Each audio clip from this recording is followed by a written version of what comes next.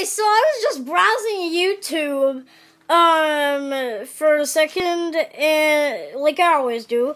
And I'll tell you and I'll tell you the two things that happened. So the first one, which is not the one that I'm to be talking about now, which is the one that I'll be talking about in the next video. Um, you might know about Enes Batur, or however you pronounce it. Um, but um, um, he's like the biggest Turkish guy, and he steals and he steals content. And um, I commented something in Turkish which I had to have go translate, and actually, in Google Translate, actually did it very good. But um, but um, um, I got 136 likes as the making of this video, or when it goes live.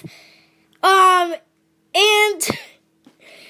I got so many replies. That's the biggest thing. That's the biggest milestone for the comments.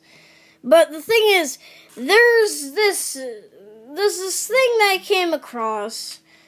It is Family Guy topic. But these three videos that I'm showing here, these are not Family Guy. These are Being Ian Simpsons and Being Ian again. And I won't show you Family Guy topic just because. Um, but that's really weird. Um. Anyways, this was Weird News number four number five. I don't know.